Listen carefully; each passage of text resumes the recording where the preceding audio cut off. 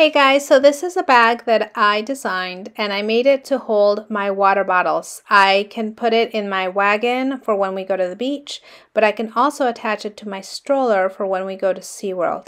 So first of all, I needed a stabilizer for this project and I used Style 76 Naked Flex Foam for this project. Um, it works perfectly. I didn't have any problems except it did not have any adhesive. So I used 805 Wonder Under to attach it to my main fabric. Now there are actually two pattern pieces that I drew out and the first one is my top piece which is the exterior fabric, the cactus fabric and I calculated to the size of my beach wagon but it turned out perfect also for my stroller.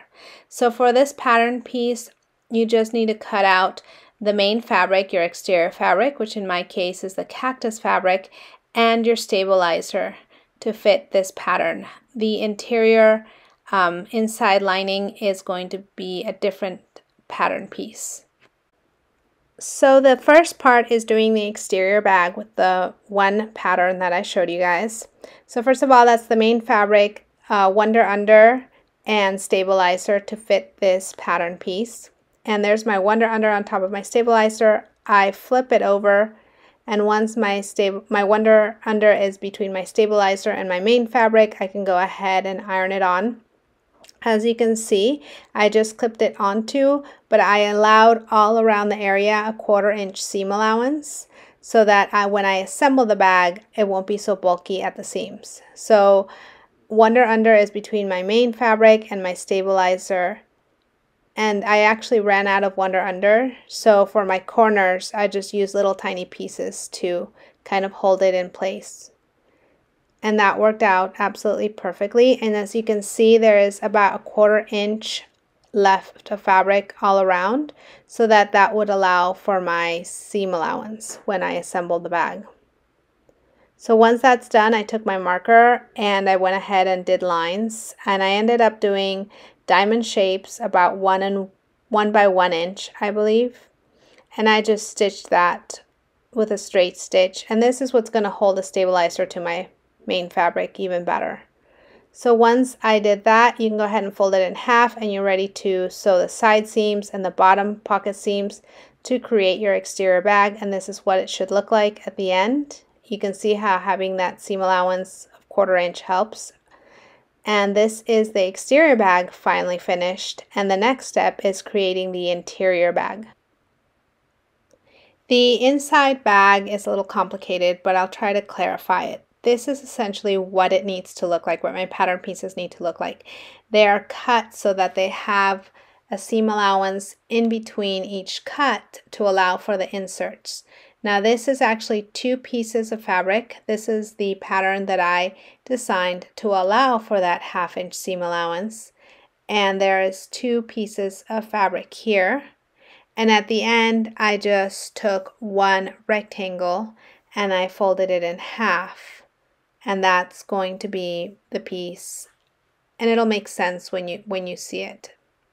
So this is what it should look like. And essentially what I did was I just made the pattern piece wider because I needed to allow half inch seam allowance and that's where the inserts are going to be.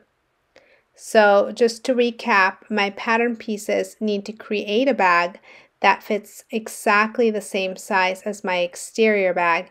And to do so, I just had to calculate that it would have half inch seam allowance on both sides to allow for the dividers to go in. So the dividers, I didn't show this one step that I need to do, but essentially it's just a 5 inch by 15 inch piece of fabric folded in half. And I didn't show it, but I folded it in half. I closed it and just created sort of a square. And you have to pay really a lot of attention to see it. So here I am assembling the bag. I am placing my divider about an inch below the top and I clip it into place see? But that divider, like I said, see it's folded in half and sewn at the bottom for a nice finish at the bottom and at the top.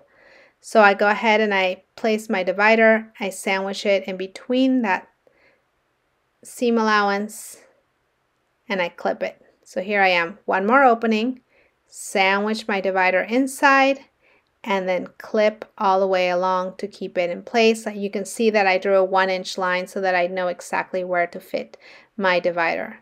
And this is what it should look like. It should be wrong sides out.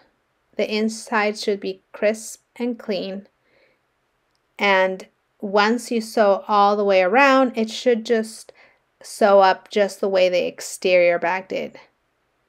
So can you tell? I put it exactly one inch below. And once you stitch all the way around, all of those openings are closed and you do the sides and the bottom, this is what it should look like. See? If it's perfectly my original pattern, I created an inside bag, but when you open it, it has pockets and dividers. Third part is making the straps. I took nine and a half inch by three inch scraps of fabric, two of them, and I went ahead, folded them right sides together, sewed across the top on the wrong side. You can go ahead and finish one end right now or leave it open and the other end will be left open. You can also do what I did. I ironed them down to make them nice and crisp and I just turn the end inwards and just top stitch to finish one end. So now putting it all together, you go ahead and you take your main exterior fabric and your lining and you're going to in this case, they're all wrong side facing out and you're going to clip them together so that the right sides are facing together. You're going to stitch all the way along the top once you are done clipping, which I didn't show, but um, that's you leave an opening and then you turn it right side out. So that's the last step. Don't forget to add your straps though, and I realize that after I had done all of this, I went back in and just tucked in the straps in the areas where I wanted them to be. And of course, the strap placement is based on your wagon or your stroller, which position works best for you. But you can see that my strap is sandwiched in right there.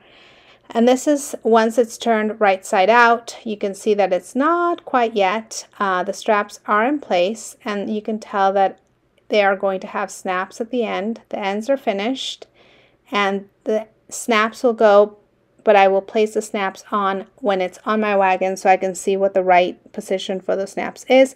You can go ahead now and top stitch all the way around to give it some stability to this bag because it looks kind of floppy. So this is with a top stitch all the way around. My straps are ready to get their snaps and it's all finished. So I didn't show putting the snaps because I placed it on my wagon to do this, but this is the finished bag. It is perfect because it has all of these dividers. All the water bottles for everybody go inside. There's no more water bottles getting lost or left behind, and everybody knows where to find their water bottles. This has been a great project for us when we go to the beach, when we go to SeaWorld just an amazing thing. And like I said, it also attaches to my stroller, so it's multifunctional, not just my beach wagon. Thanks for watching.